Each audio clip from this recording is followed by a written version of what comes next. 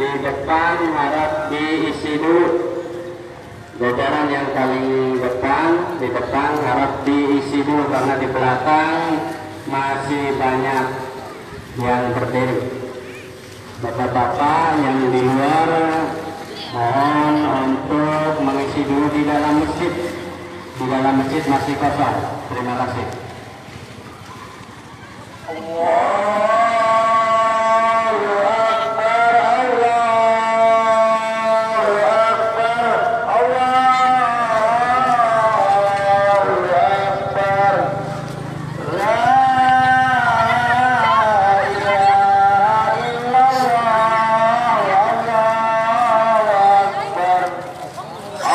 Bye.